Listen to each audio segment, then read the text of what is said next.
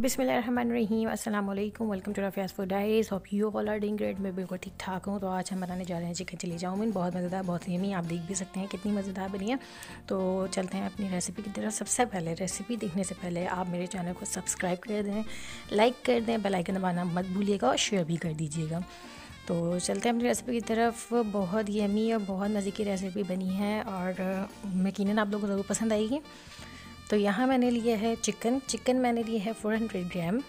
इसका मैरिनेट कर लेते हैं। चिकन चिली सॉस ऐड की है, सोया सॉस ऐड की है विनेगर ऐड किया है थोड़ा सा सॉल्ट ऐड किया है और red chilli powder black pepper chilli flakes और कॉर्नफ्लावर ये तमाम चीज़ें मैंने ऐड कर ली हैं। आप इनकी क्वांटिटी देख सकते हैं अपने स्क्रीन पे क्या है। इसको अच्छे से मिक्स कर लेंगे।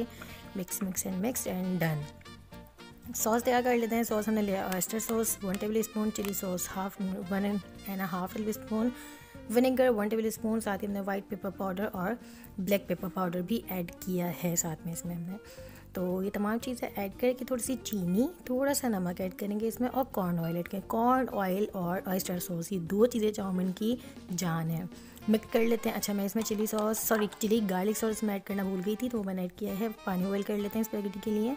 तो इसमें मैंने पानी आप लेंगे, सॉल्ट ऐड करेंगे और जो है इसमें थोड़ा सा नमक ऐड करके बॉईल करने रख देंगे। अच्छा कैप्सिकम हमने लिए वन बाउल कैरेट हमने वन बाउल जूलियन कट कर लिया। आप कैसे भी कट कर सकते हैं। बेसिकली रेस्टोरेंट स्टाइल है तो उसमें जूलियन कटेड होती है। कैबेज हमने जो है बहुत बारीक कट की है, और साथ ही हमारे पास हरी प्याज। मैंने इसका ग्रीन हिस्सा और वाइट से दोनों अलग कर लिए थे।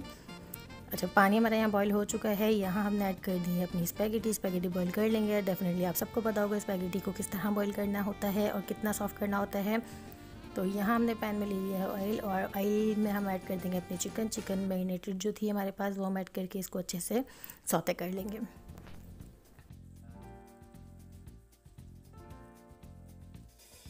से अच्छा पाँच मिनट हमने इसको सौते किया और सात से आठ मिनट हम इसको ढक के पकाएँगे। आप चाहें तो वैसे भी डाल सकते हैं, क्योंकि मैरिनेशन अगर ज़्यादा देर हुई भी होगी तो आपकी चिकन अच्छे से सिर्फ़ सौते होने में ही गल गल जाएगी।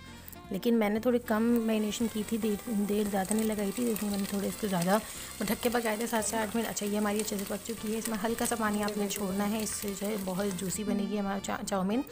हमने इसमें ऐड कर दी अपनी बॉयल स्पैगेटी और इसको अच्छे से मिक्स कर लिया। अच्छा ये प्रोसेस सबसे अहम है क्योंकि हमें जो है इसको मिक्स अच्छे से करना मिक्स अच्छे से नहीं होगी तो स्पैगेटी में मसाला नहीं लगेगा अच्छे से।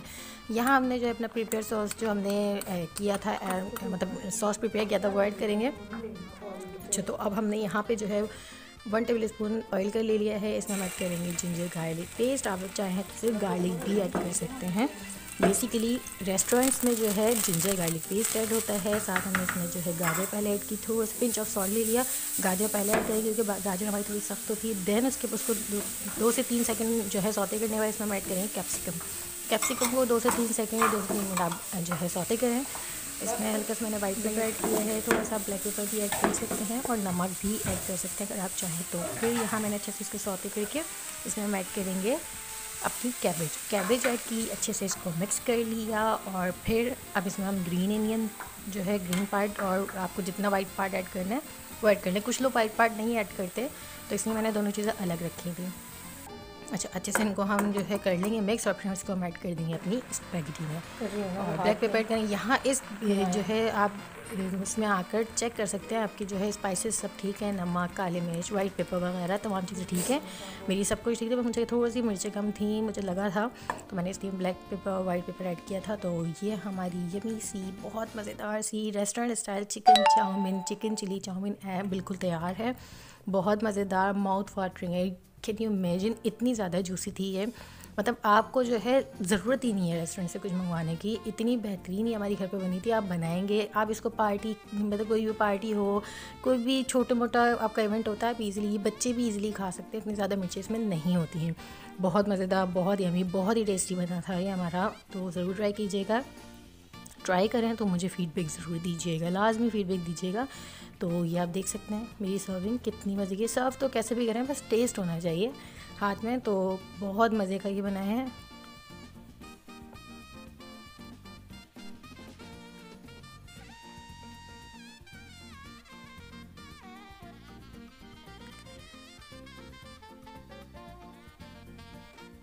तो फिर ज़रूर ट्राई कीजिएगा। ट्राई करें, मुझे कमेंट बॉक्स में कमेंट ज़रूर कीजिएगा, कैसी लगी आपको?